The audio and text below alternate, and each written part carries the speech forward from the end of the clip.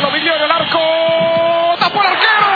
Tapó el arquero Luisito Rente. Tapó el arquero Rente. Le queda Luna. No hay arquero, no hay arquero. Tigre quiere ganarlo.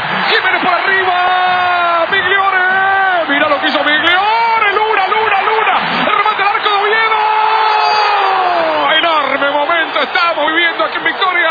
Saque de meta para San Lorenzo del Magro. Sigue ganando Tigre por los tantos contra uno. Este partido tiene el gol de la fecha y el instante de la fecha. El duelo de la fecha con Migliore Ardente. Con Migliore que terminó jugando casi como volante central. Este fue el derechazo. Ataca Ardente, sale el rebote. Migliore que intenta volver.